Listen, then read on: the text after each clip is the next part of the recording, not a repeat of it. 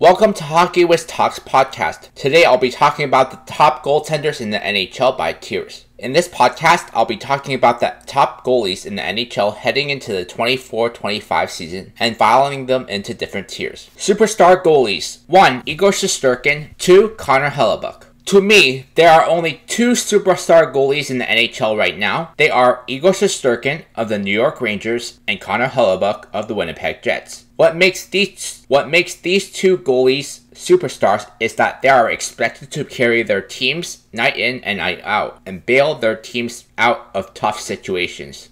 Igor Shesterkin has been the best goalie in the NHL for several years now, while Connor Hellebuyck has won the while Connor Hellebuyck won the Vezina Trophy in 2024 and was a finalist for the Vezina the past 3-4 years. Star goalies 3. Juuse Saros 4. Sergei Bobrovsky 5. Andrei Vasilevskiy 6. Jeremy Swayman 7. Jake Oettinger 8. Thatcher Demko 9. Ilya Sorokin the next group of goalies are the star goalies. Although they are not superstar goalies, they are franchise cornerstones that have a proven track record as a starter in the NHL. These include Juuse Saros of the Nashville Predators, Sergei Bobrovsky of the Florida Panthers, Andrei Vasilevskiy of the Tampa Bay Lightning, Jeremy Swayman of the Boston Bruins, Jake Oettinger of the Dallas Stars, Thatcher Demko of the Vancouver Canucks, and Ilya Sorokin of the New York Islanders while he has been the backbone of the Nashville Predators. With very little offensive support, at times he can be inconsistent. Sergei Bobrovsky backstopped the Florida Panthers to the Stanley Cup Finals in back-to-back years and helped them to win the Stanley Cup this summer.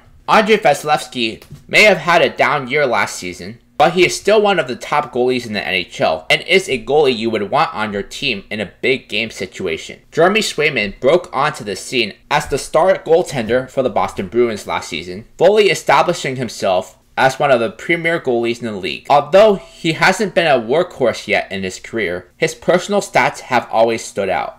Jake Oettinger of the Dallas Stars and Thatcher Demko of the Vancouver Canucks are both American born star goalies who play on contending teams and are capable of stealing games.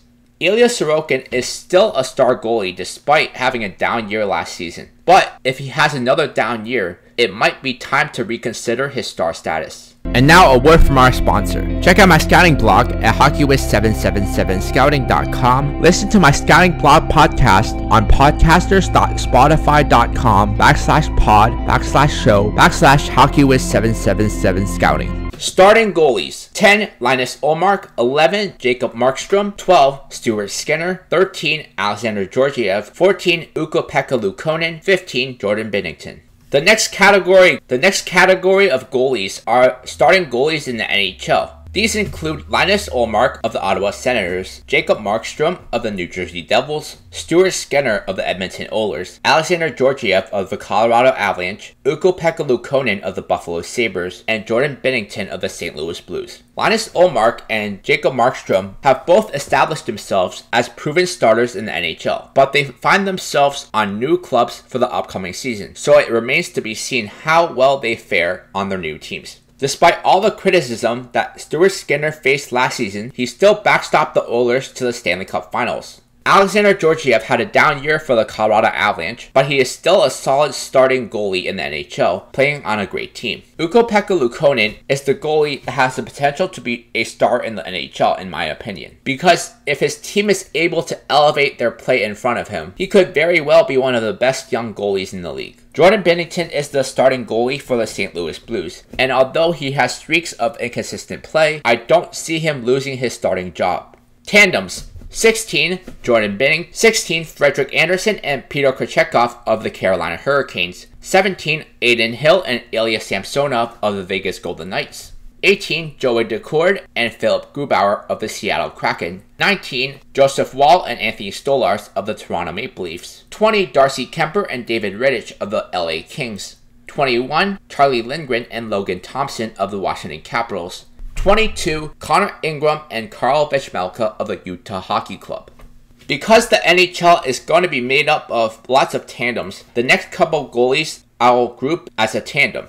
First, we have Frederik Andersen and Peter Kochetkov of the Carolina Hurricanes. This could be the best tandem in the NHL if Andersen remains healthy.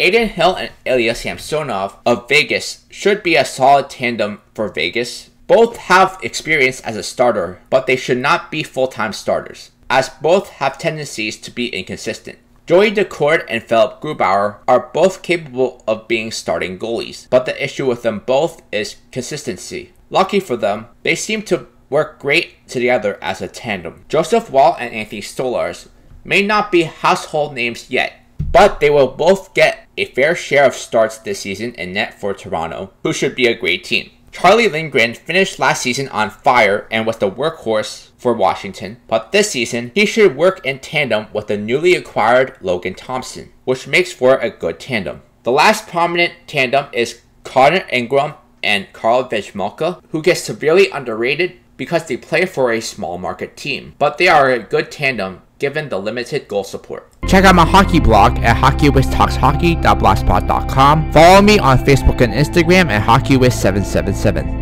Other prominent goalies 23 Tristan Jarry, 24 Semyon Varlamov, 25 Artur Silovs, 26 Samuel Ersson, 27 Ivan Fedotov, 28 Lukas Dostal, 29 John Gibson, 30 Jonas Korpisalo, 31 Peter Mrazek, 32 Oz Nedeljkovic, 33 Dustin Wolf, 34 Samuel Montembeault, 35 Cam Talbot. In my next podcast, I'll be making predictions on the 2024-25 season.